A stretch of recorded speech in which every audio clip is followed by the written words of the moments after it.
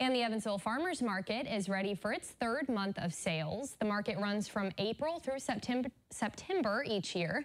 Vendors will be set up once again this Saturday at their John Street location with fresh produce, plants, and handmade items. The Evansville's Farmer Market happens each Saturday through late September.